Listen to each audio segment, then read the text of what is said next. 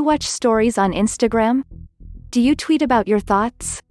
Many people share blog posts on Tumblr or play with filters on Snapchat. Others find friends on Facebook. Social media sites are everywhere today. Have you ever wondered how social media started?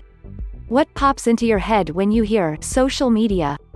Many people's minds immediately go to Facebook. Facebook is a social media giant, but it wasn't the first one.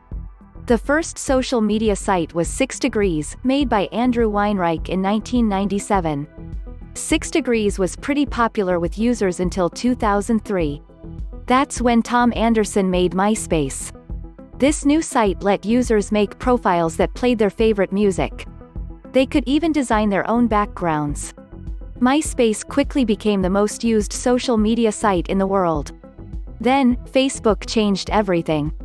Mark Zuckerberg created Facebook when he was a sophomore at Harvard in 2004. It went public in 2006, and people flocked to the site. Over the years, Facebook did a lot to stay on top. It watched its competitors and added their most popular traits to its own site. Facebook added hashtags to keep up with Twitter. Later, it added stories to compete with Snapchat. Today, Facebook is the world's biggest social media site. It has 2.32 billion monthly users.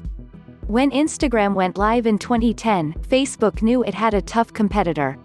Instagram is a much more visual place than Facebook. This quickly made it attractive to younger users. On Instagram, users can add filters to their photos and watch each other's daily stories.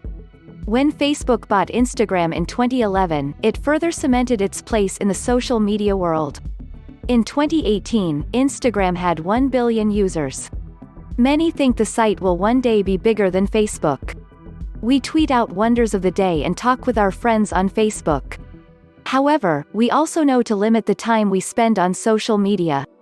Some studies have found that social media users are less happy and more anxious than others. Social media has also been blamed for spreading misinformation. It's a great tool for staying connected, but should be used carefully. It's always important to stay safe online. This is especially true on social media, where you may encounter people you don't know. There are plenty of ways to stay safe. First, never share your passwords with others. Second, don't talk to strangers. Even if someone says they know your friends or family, don't talk to people you don't know. Finally, don't give out your personal information, Sharing things like your phone number or address can put you in danger. How do you like to connect with your friends? Have you ever written a friend a letter? Do you talk on the phone? People have always enjoyed connecting with friends and family. Today, we use our most powerful tool, the internet, to do so. What will be the next big social media site? Will Facebook stay on top, or will Instagram catch up? What do you think?